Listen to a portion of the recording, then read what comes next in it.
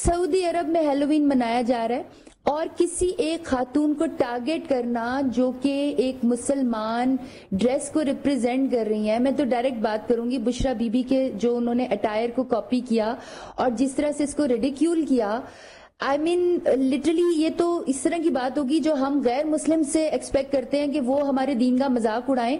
तो हमें तो दुश्मनों की ज़रूरत ही नहीं है।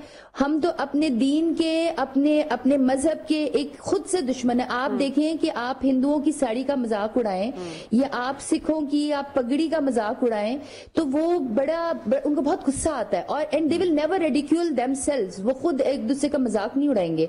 मसला ये है कि हम मुसलमान स्पेशली पाकिस्तान के मुसलमान। आप नोट करें ऐसे लोग हैं जिन्होंने अगले हर इंसान का इखलाकी इस्लामी सोशल हर किस्म का जो है ना उन्होंने बर्डन खुद पर उठाया हुआ है। दे डू नॉट नो कि अल्लाह विल नॉट